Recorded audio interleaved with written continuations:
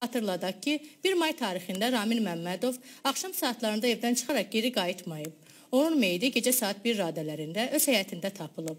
Ramili qətlə yetirmiş şəxs onun qohumudur.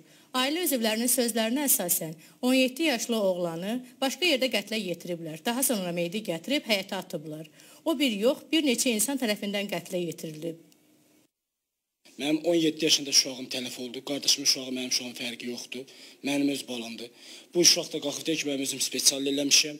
Bizim cənab prezidentdən xahişim budur ki, bunun üstündə durulsun və bizim iş dokument təzələnsin.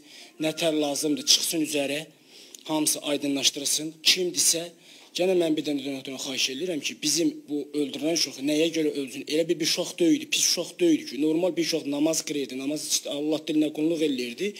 Nəyə görə bu uşağı sən qəsdən öldürdünüz?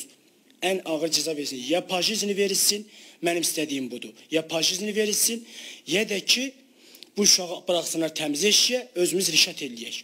Artıq iki gündür ki,